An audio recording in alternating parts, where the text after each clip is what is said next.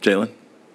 Yeah, I mean he's he's been on a nice little streak to start the season. Um, I don't feel feel like he played his best this game particularly, but um, hit big shots when they counted and made the right plays. You know they're going to double team him, so yeah, another uh, you know feather in his cap as far as what he's been doing so far and recognition that he can stick with it, hit a big shot, hit a big three, and got downhill a few times. So uh, just a little more patience on the on their makes, you know, and, and getting to our proper spacing and attack from there.